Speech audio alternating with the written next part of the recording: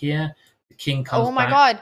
Uh, Yeah. Simon, I think that's it. Handshakes. And shaken hands? history is made in Ooh. Baku as the 18 year old Praggnanandhaa advances to the finals to fight against Magnus Carlsen for the FIDE World Cup. Fabiano Caruana will play against Abasov in the fight for the third place. What a moment this is for Praggnanandhaa.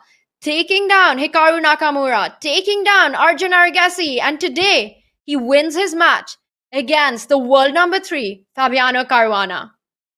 Wow. 18 years old. And he is now confirmed, confirmed to be the third youngest ever player to be guaranteed a spot in the candidates, the way to become world champion behind Bobby Fischer, the legend of America.